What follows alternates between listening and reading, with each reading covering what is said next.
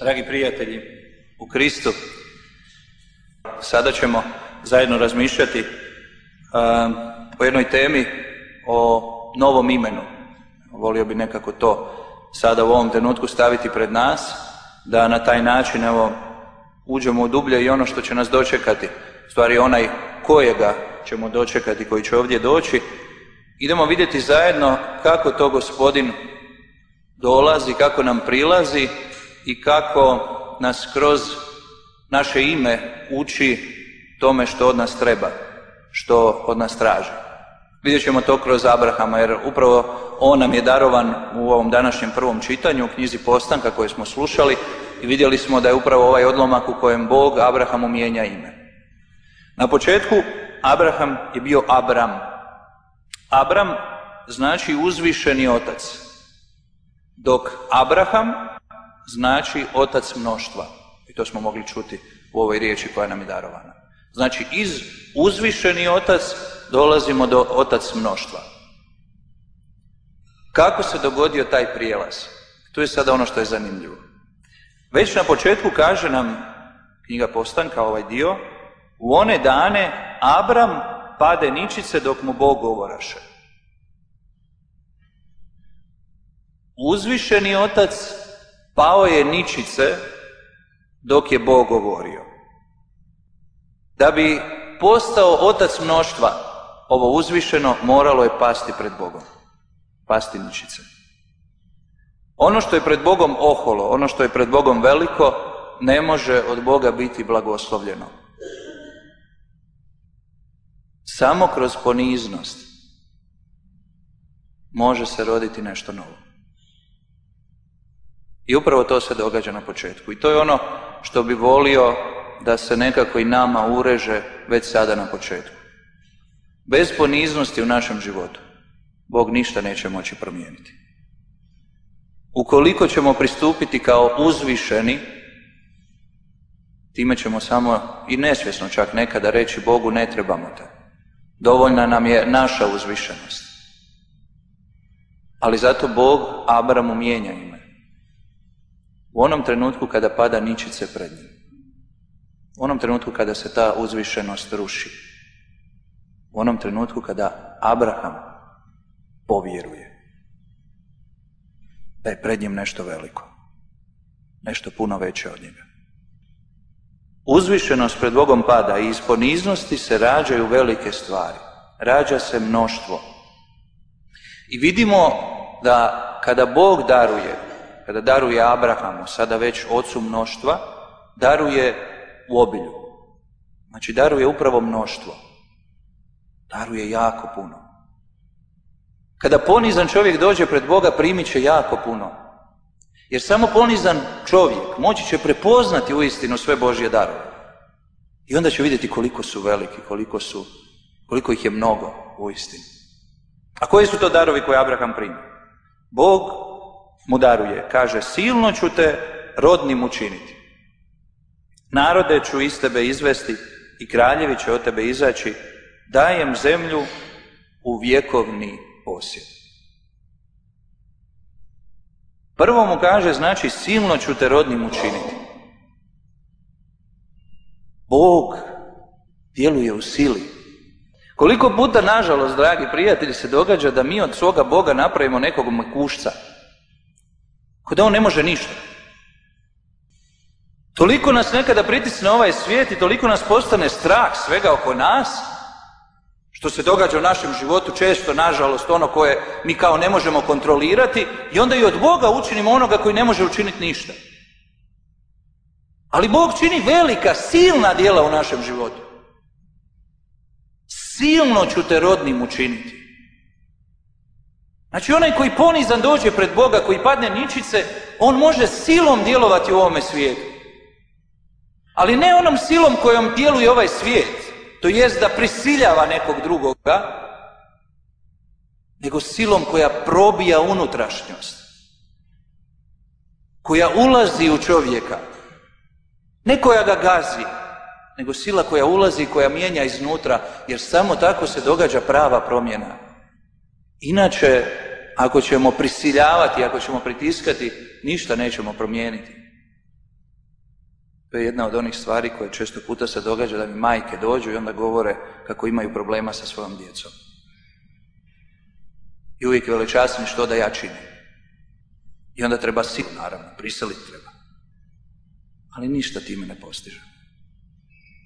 Treba povjerovati da sila Božja djeluje iznutra. A kako djeluje? Djeluje po tvome životu. Ako u tvom životu nema poniznosti pred Bogom, neće ju ni tvoje dijete, ni tvoj sin, ni tvoja kćer imati pred tobom. Ako ga ne naučiš da si i ti zajedno s njime dijete Božje, neće slušati. Pa makar ga čekićem po glavi lupao. Bog silno daruje i rodnim čini. Narode ću iz tebe izvesti i kraljevi će od tebe izaći. Znači, ne samo jedan narod, nego Abraham mu kaže narode. A to smo i ti i ja. Mi smo taj narod, jedan od naroda koji se rodio iz Abrahama. Koji se rodio iz njegove vjere, govorit će sveti Pavao. Tako smo djeca Abrahama, a po njegovoj vjeri i po našoj vjeri. I ne samo da daje narode, nego kaže kraljevi. Upravo ona sila o kojoj sam govorio pokazuje se kroz kraljeve. Jer kraljevi su moć, kraljevi su sila. I to će gospodin dati. Velike će stvari učiniti svojom obitelji. Samo ako povjerujemo. Velike će stvari učiniti i od nas. Samo ako povjerujemo. I dalje nastavlja, dajem zemlju u vjekovni posjed. Koja je to zemlja vječna? Božja zemlja. To nam je dao. Bog daje u obilju, Bog daje sve. I po ovome kraljevi stvari nam govori da će darovati onoga velikoga kralja. Kralja svega stvorenja, svoga sina. I on je izašao iz Abrahamova roda. Kada Bog pokaže sve što će dati, kaže, kaže da će, da bi ostao tome vjera, da pokaže da će zaista to učiniti, sklopit će savez s Abrahamom. E sada, kada Bog kaže da sklapa savez, onda je to puno drugačije od ugovora. Mi možda nekada kad mislimo sklopio je savez kao da je sklopio nekakav ugovor. Rekao je ovako, znači ti ćeš to napraviti, toga ćeš čuvati, ja ću ti dati znači i posjede i ovo i ovo i ovo i ovo. Tako nekako mi razmišljamo u tom odnosu s Bogom. I često puta se događa to, da naša vjera, naše kršćanstvo postaje jedan ugovorni odnos s Bogom. Bože, ja ću tebi napraviti ovo, izmoliti ovo, ovako ću se ponašati, ovako ću činiti, evo i ovo ću se napraviti, a ti meni za uzvrat trebaš dati ovo, znači mir u obitelji, svi trebaju biti dobri, svi trebaju biti odlični, svi nas trebaju gledati, o nama govoriti najbolje i tako dalje. To je ugovorni odnos s Bogom. Ali Bog ne sklapa ugovor. Jer ugovor je upravo taj, ti meni, ja tebi. A savez je nešto puno više. Savez je ja se darujem tebi, ti se daruješ meni. Ne nešto ćemo darovati, nego darovat ćemo sebe. Ugovor je na određeno vrijeme. Savez je vječan. Kada Bog Abraham i kada Bog tebi kaže da će sklopiti savez s tobom, a sklopio ga je na dan tvoga krštenja, onda ti se on daruje u potpunosti. I to je za njega vječno. Bog ne može odustati od svojih obećanja. Bog kada obećaje, obećaje zauvijek. I kada ti je obećao da će te posiniti, da ćeš biti njegovo dijete, to vrijedi zauvijek. A na koji je to način Bog odlučio pokazati taj savez? Tu gledam opet Abrahama. Kaže mu, bit ću Bog tvoj i bit ću Bog njihov Bog. To, mi je, to je super, kad gledate. Bogom tvojim, zvaću se Bogom tvojim i njihovim Bogom. Znači, kada kaže Bogom tvojim, Zastanite malo. Zastani i reci u sebi Bog moj. Bog moj. Ali to nije nešto što mi govorimo, nego je Bog to dao. Bog je rekao, bit ću Bogom tvojim, njihovim Bogom. Bog moj. Bog koji mi je blizak. Bog koji mi dolazi. Znate kako dolazi? Sada dolazimo do one prave stvari.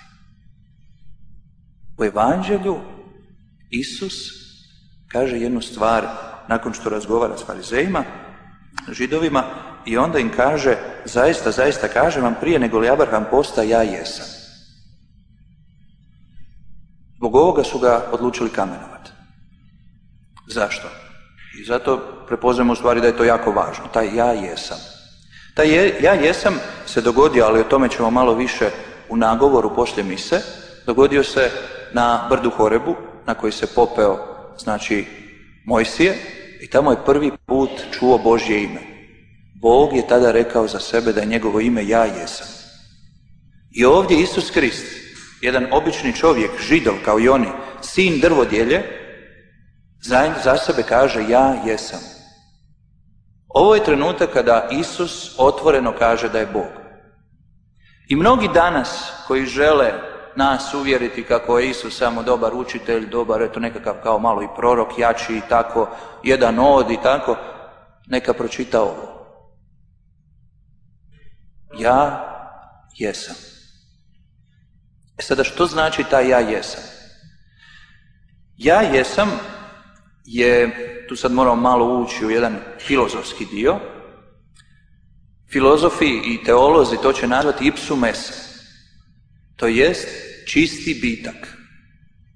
Znači kada Bog za sebe kaže ja jesam, Bog kaže da on nije samo jedno obično biće, Čak nije ni najsavršenije biće,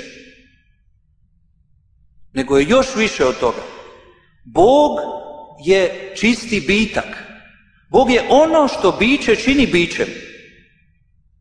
E sada kada ti Bog kaže da je blizak, da da dolazi u tvoj život, da ti želi biti blizu, da je Bog tvoj, i ako to stavimo zajedno s time da Bog nije samo biće, nego je bitak, Vidiš li sada koliko ti je Bog blizak?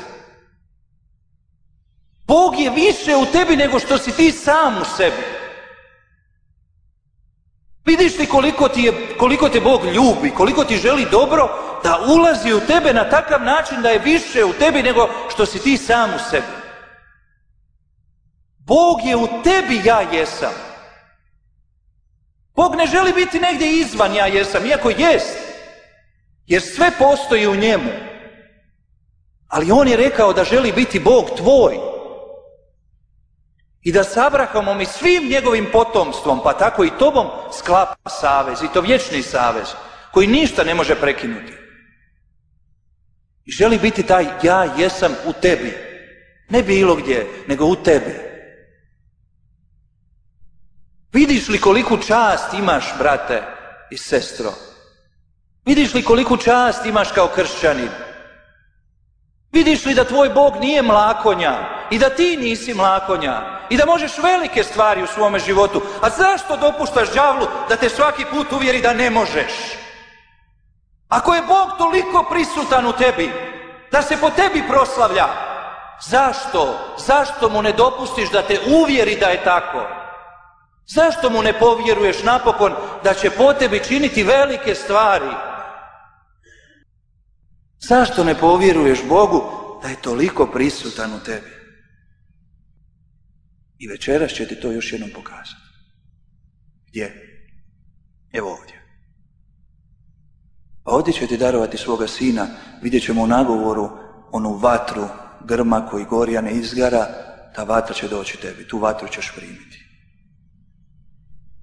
To je vatra koja te želi zapaliti da ti želi pokazati svo tvoje dostojanstvo. Da si dijete Božje, da ja jesam, kroz tebe djeluje. I kroz tebe se želi proslaviti, želi ti biti blizak Bog koji dariva u sili, dariva u obilju i daje ti sve. Baš tebi. Ne nekom drugom, nego baš tebi. Samo je važno povjerovati. To je prvi čin koji želimo učiniti danas. Oče, sada te želimo moliti da povjerujemo. Povjerujemo je da zaista želiš biti blizak Bog, meni blizak, Bog moj, Bog naš. Daj mi milost da povjerujem cijelim svojim bićem, svakom stanicom moga bića da to povjerujem, da si ti snažan Bog, da si silan Bog i da ćeš činiti velike stvari po meni. To te molimo, dobri oče, po zagovoru naše nebeske majke, blažene djevice Marije.